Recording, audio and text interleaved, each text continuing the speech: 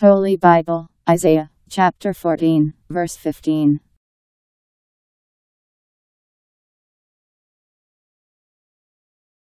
But you will come down to the underworld, even to its inmost parts.